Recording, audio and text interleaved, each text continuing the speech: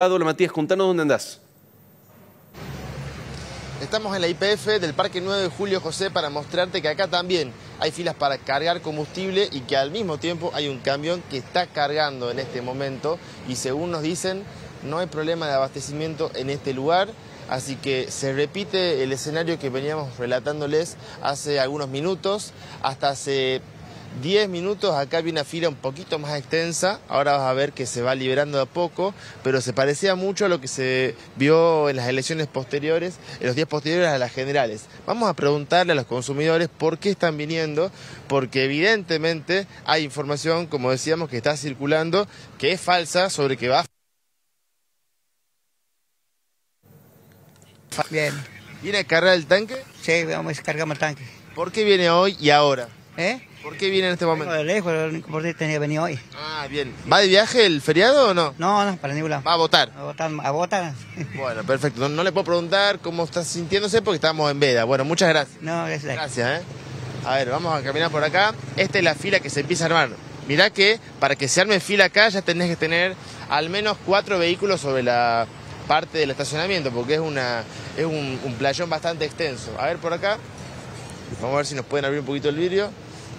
Ahí está, ahí abre. Maestro, ¿cómo le va? Dos segunditos. ¿Viene por las dudas falte o viene o tiene que venir a cargar? Y por las dudas falte, no sé. ¿Quién le dijo que iba a faltar? No, no me dijo nadie, pero como está la situación, no sé. ¿Va a llenar el tanque?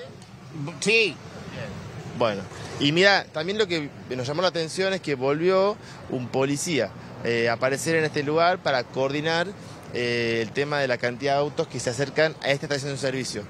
Y ahí está, ¿ves? En vez de estar, como decíamos aquella vez que vinimos, cuidando por ahí eh, otros aspectos, el policía está coordinando la cantidad de autos que se acercan a esta IPF que está ubicada en el Parque 9 de Julio.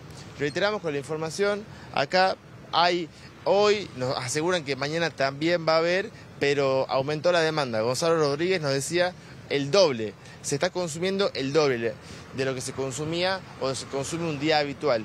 ¿Cuándo? A partir de ayer y de hoy. Eh, bueno, justamente nosotros recién hablábamos con Daniel Gargiulo de Capega y lo que nos decía es que lo que hasta aquí no se cortó es la provisión de combustible, es decir, los camiones están llegando a la estación de servicio con la nafta, es decir, a raíz de esta demanda Alta. Puede ser que de pronto se termine la super, por decirte, ¿no? Eh, pero bueno, el camión con super va a llegar, Sí. está en la ruta, va a venir, va a reponer, que es lo que no pasaba después de las elecciones generales cuando se había cortado la reposición, por lo tanto, estación de servicio que se queda sin nafta no tenía cómo reponer. Ese escenario hoy no está ocurriendo. Lo que sí está ocurriendo es que a partir de distintas, en general, de informaciones eh, de origen dudoso, pero que se viralizan con mucha velocidad en las redes sociales, eh, la gente está como loca yendo a nafta, ¿no?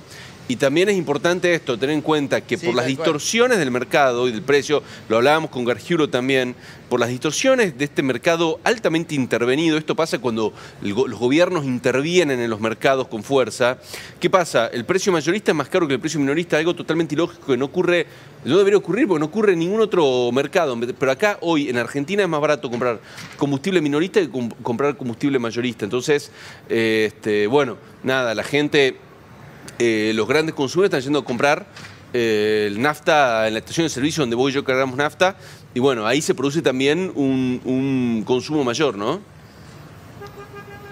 Sí, el famoso cuello de botellas, Sí. que genera comentarios, porque uno pasa por las estaciones de servicio y ve que todos los usuarios que pasan con, con el auto eh, empiezan a comentar y empiezan a acordarse lo que se, de lo que pasó después Sí. del 22 de octubre. Así Sí. que bueno, por eso queríamos mostrarles el, el panorama e ir actualizando según cada lugar.